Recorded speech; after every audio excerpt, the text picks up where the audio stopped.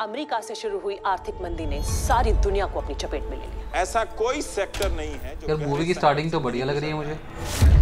अभी तक देखकर तो मुझे भी मज़ा आ रहा है। तेल के कुओं के आगे रिसेशन पानी नहीं मांगेगा देख नरगिस यहाँ से किडनैप हो जाएगी। किडनैप हो जाएगी। हाँ लग तो ऐसे। हाँ, मुझे भी लगता है मुझे लग रहा है शायद ऑडियंस भी आ गई है। देख। हाँ ऑडियंस आगे। एक एक हाँ, मिनट पॉज कर दूँ? तो एक्शन से भरपूर मूवी देख रहे थे हम। और विद्युत जामल की पिक्चर है जो खासकर कमांडो की पिक्चर के बाद बहुत ही ज़्यादा फ़ेमस हो गए थे। उनकी एक्शन वाली मूवी शायद अच्छी लग सकती है हमें तो पहले हम देख लें फिर आपके पास दोबारा लौट कर आते हैं। और आपको बताएँगी कैसी है इसकी कहानी। नरगिस! मेरा नाम समीर चौधरी है मेरी वाइफ मिसिंग है। तो लौट आए हम अपनी आँखों को दर्द देकर। नमस्कार मैं दीपक सिंह। और मैं वर्णिता वाजपेयी। तो हम दोनों मिलकर आज पोस्टमार्टम करेंगे विद्युत जामल की नई फ़िल्म यानी खुदा हाफिज का जहाँ हम बात करेंगे कैसी है मूवी कौन है इसके स्टार कास्ट कैसी है मूवी की स्टोरी लाइन और क्राइम की तड़के में कहाँ स्टैंड करती है खुदा हाफिज? मुझे मेरी नरगिस चाहिए। बस। अब बात करते हैं कैसी है मूवी? रोमांस एक्शन और और मुझे पानी पिला यार प्लीज़। इससे आगे और कुछ नहीं। आपके आने में तो पाँच छह दिन की तो बात है। डिज्नी हॉटस्टार पर 14 अगस्त को फारूक कबीर के डायरेक्शन में बनी फ़िल्म खुदा हाफिज रिलीज़ हो चुकी है। ट्रेलर देख के विदु जामल की मूवी काफ़ी एक्शन से भरपूर लग रही थी लेकिन मूवी में एक्शन रत्ती भर नहीं था। दो घंटे तेरह मिनट की इस मूवी में ह्यूमन ट्रैफिकिंग के मुद्दे को उजागर किया है जो मंदी के दौर को दर्शाती है। लखनऊ से लेकर सऊदी अरब के एक देश तक की मूवी लेकर जाती है जहाँ पर ह्यूमन ट्रैफिकिंग के गंदे खेल को दिखाया जाता है। और इसमें लगता है कि मूवी काफ़ी स्लो है। और इस मूवी को अगर आपको अपने आप को टॉर्चर करना है तो आप इसे देख सकते हैं। मूवी दो घंटे तेरह मिनट की है टोटल नरगिस? नरगिस?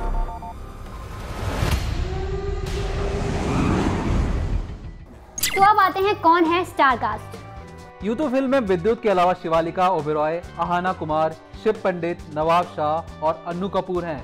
लेकिन सही मायने में फ़िल्म विद्युत जामाल के इर्द गिर्द घूमते नज़र आती है। और जिनकी एक्टिंग पर भारी दिखते हैं अन्नू कपूर अन्नू कपूर ने अपने टैक्सी ड्राइवर के किरदार के साथ बिल्कुल ही जस्टिस किया है।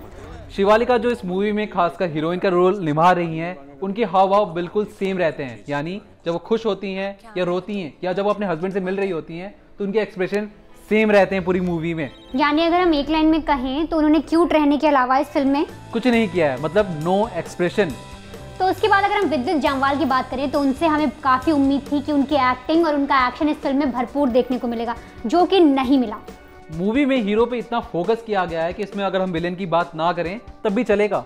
यानी नवाब शाह जो इस फ़िल्म के विलन है। है। अगर उनकी एक्टिंग हमें इस मूवी में दिखाई जाती तो शायद अच्छा लगता है। यानी उनकी एक्टिंग के मुताबिक उन्हें स्क्रीन स्क्रीन नहीं मिली है। हाँ स्क्रीन प्ले उन्हें और ज़्यादा मिलना चाहिए था जो कि नहीं मिला इन्हें। इस एड्रेस पे जाना है। एड्रेस गलत है। ऐसा कोड है ही नहीं। मुझे पता ही नहीं मेरी वाइफ कहाँ है। दो दिन तक मैं क्या करूँगा?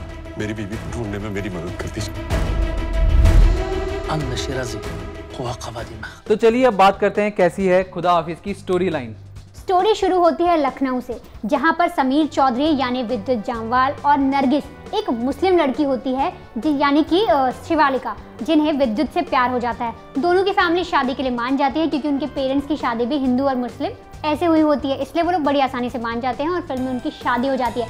लेकिन शादी होती है कि अचानक आ जाता है? 2008 की वो मंदी 2008 की मंदी में लाखों नौकरियाँ जाती हैं और उसी में इन दोनों की भी नौकरी चली जाती है।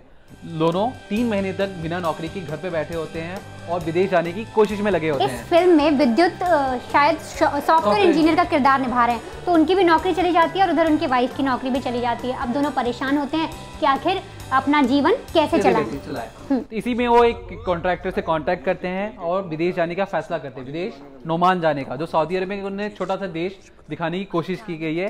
जहाँ पे ये बात कही गई है कि मंदी के दौर में तेल वाले जितने भी देश हैं वहाँ पे मंदी नहीं आई है। हम्म, अरब देशों में जैसा हम सुन अक्सर सुनते हैं कि वहाँ पर तेल का व्यापार हमेशा रहता है तो ये दोनों भी यही करते हैं। बातचीत करते हैं एजेंट से और एजेंट उन्हें कहता है कि तेल का व्यापार वहाँ सही रहता है और आप अरब देश चले जाइए। जिसके बाद? जिसके बाद इसमें ये होता है कि उनकी बीवी को सबसे पहले ऑफ़र आता है और वो चली जाती हैं ऐसा और क्यों होता है कि बीवी को ही पहले ऑफ़र आता है? मतलब स्टोरी में खासकर ये बताया गया है कि पहले बीवी को ऑफ़र आया उन्हें पाँच या छह दिन के बाद विद्युत को दोबारा कॉल आ जाएगा। तो बीवी पहले चली जाती है बीवी और विद्युत में मतलब शिवालिका विद्युत से कहती है कि तुम पाँच या छह दिन बाद आ जाना कोई टेंशन की बात नहीं है। और जैसे ही शिवालिका नोमान पहुँचती है उसके बाद शुरू होता है असली खेल। असली खेल सही बात है। तो यहाँ पे होता यह है कि समीर उनकी फ़ोन का इंतज़ार करते हैं और करते रहते हैं तो उस वक्त एक कॉल आता है जहाँ पे नरगिस उन्हें कहती हैं कि मुझे बचा लो मैं कहीं फंस चुकी हूँ। तब जाके समीर का दिमाग ठंडराता है। यानी वहाँ पर नरगिस किडनैप हो चुकी होती है। आ, आ, कुछ तो है सस्पेंस है जो हम आपको पूरा बताएँगे नहीं। कुछ है जो आपको देखना पड़ेगा। हाँ ज़ाहिर सी बात है ह्यूमन ट्रैफिकिंग है इस केस में जहाँ पे दिखाने की भरपूर कोशिश की गई है। तो कहानी यहाँ से शुरू होती है, विद्युत जाके उस एजेंट से बात करते हैं एजेंट पे एफआईआर होती है। एजेंट कहता है कि मेरा, वहाँ का एजेंट जो नोमान का था, वो अलग था, जहाँ पे विद्युत, खासकर फिर नोमान चले जाते हैं। वो नोमान जाने के बाद उन्हें एक टैक्सी ड्राइवर मिलता है जो कि अनु कपूर निभा रहे थे और उन्होंने बेहद उम्दा एक्टिंग करी है इस फ़िल्म में। पूरी मूवी में अगर विद्युत को हम हटा दें तो अनु कपूर की एक्टिंग जो खासकर टैक्सी ड्राइवर थे जस्टिफाई किया है। आपको देखने में उनकी रोल मज़ा आएगा। तो कहानी यहाँ से आगे बढ़ती है। वहाँ पे प्रोस्टिट्यूट वाले जितने भी ठिकाने होते हैं विद्युत उनका पता लगाते हैं विद्युत जाके देखते हैं कि उनकी बीवी है या नहीं है। बस यहाँ पे इस वाले सेक्शन में जहाँ पे एक प्रोस्टिट्यूशन वाले सेक्शन में जाते हैं। वहाँ पे उनकी उनकी बीवी दिखाई देती है जिसके बाद विद्युत को गुस्सा आता है और एक्शन थोड़ा सा देखने को तो ज़रूर मिलता है। मतलब जैसे उसे उनकी उम्मीद थी उस सब की नहीं लेकिन एक्शन देखने को मिला इसमें। यानी अगर सही मायने में बात करें तो कुछ कुछ पार्ट ऐसे हैं जिसमें हमें सिर्फ़ एक्शन देखने को मिला लेकिन अगर पूरी मूवी हम विद्युत जामवाल को सेंटर करके देखें तो हमें वो एक्शन देखने को नहीं मिला जो उनको हमने कमांडो में देखा था। हाँ दो घंटे तेरह मिनट की मूवी में अगर आप सोच रहे तो मतलब पाँच मिनट का भी एक्शन इसमें नहीं था जो कि मैंने सोच के मैं सोच के देख रहा था कि मुझे यहाँ पे एक्शन मिलेगा लेकिन एक्शन रत्ती भर की नहीं था।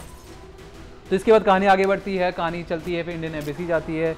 इंडियन एम्बेसी भी कोशिश भी करती है कि बीवी और दोनों मिल जाएँ और कहानी आगे की कहानी के लिए आपको स्टोरी मूवी देखनी पड़ेगी। ये मूवी यही है कि प्रोस्टिट्यूशन और ह्यूमन ट्रैफिकिंग के केस को लेकर इर्द गिर्द घूमती रहती है।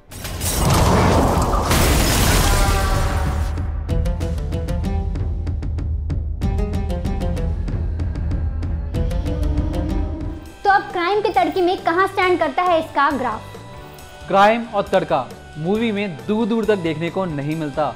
ना क्राइम मिला ना तड़का मिला ना ही एक्शन मिला। मूवी में अगर थोड़ा सा सस्पेंस बनाने की कोशिश करते तो हमें मज़ा आता।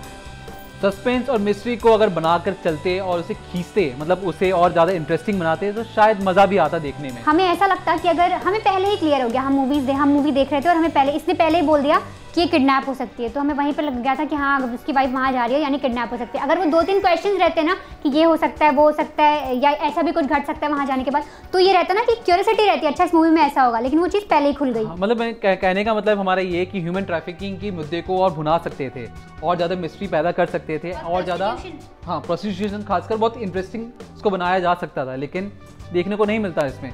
अगर सीधी सीधी बात करें तो अगर आपने ट्रेलर देख लिया है तो सारी मूवी उसी में समझ आ जाएगी। हाँ आप ट्रेलर देखिए या मूवी देखिए। ट्रेलर देख के आप अपना समय बचा सकते हैं घंटों का समय बचा सकते हैं आप एक साथ। तो दोनों बराबर है।